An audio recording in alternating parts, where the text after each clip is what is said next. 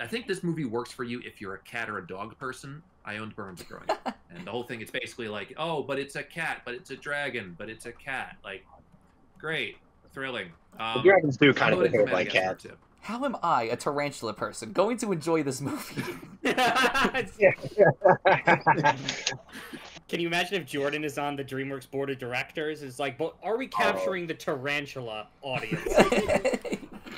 God, could you imagine how scary a tarantula dragon would be?